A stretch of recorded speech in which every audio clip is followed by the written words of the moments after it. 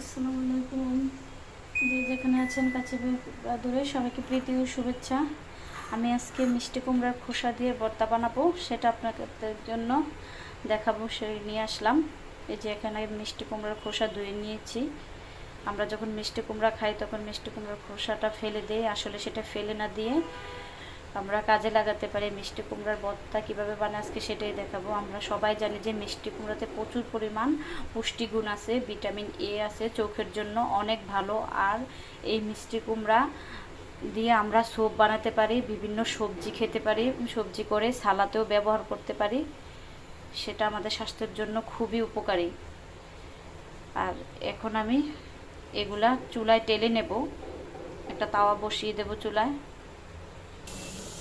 এই যে আমি চুলা একটা তাওয়া বসিয়ে দিয়ে এখন এগুলা হাই হিটে ভেজে নেব দুই মিনিট পানিটা শুকানোর জন্য। তারপরে চুলার আঁচটা লো মিডিয়ামে দিয়া এটাকে আমি ভালো করে এখানে সিদ্ধ করে নেব। এই যে। আর এটার জন্য লাগবে শুকনা মরিচ।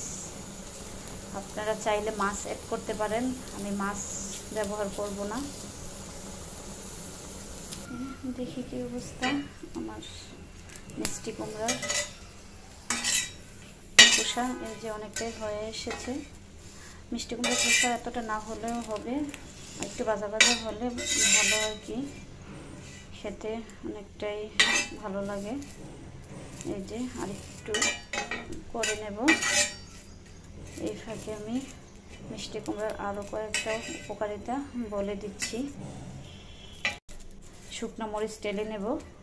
এই যে আপনারা চাইলে আরও বাজা বাজা করতে পারেন। আমি কিন্তু মিষ্টি কুমড়াটা একটু ভারী করে খোসাটা নিয়েছি, এই যে।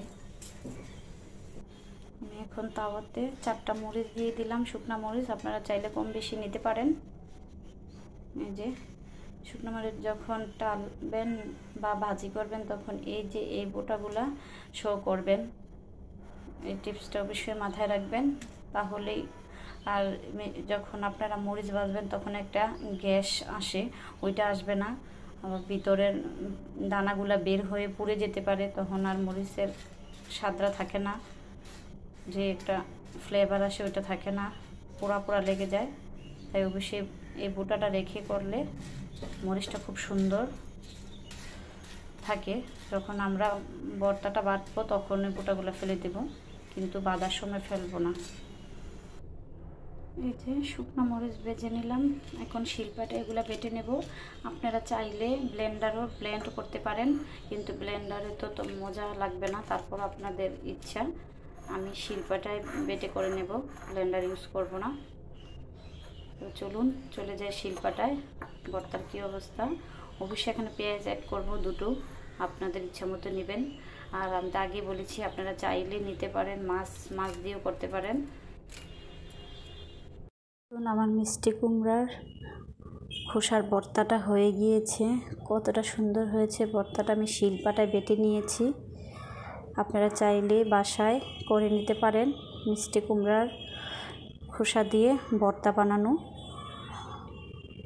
ফেলে না দিয়ে সে কাজটা করতে পারেন। মিষ্টি কুমড়ার খোসাতে অনেক ভিটামিন আছে। এই যে, আমার ভিডিও কেমন লাগছে অবশ্যই জানাবেন। ভালো লাগলে লাইক, কমেন্ট, শেয়ার করতে ভুলবেন না। আল্লাহ হাফেজ সবাই ভালো থাকবেন। আর পরবর্তীতে কোনো একটা রেসিপিতে আবার দেখা হবে।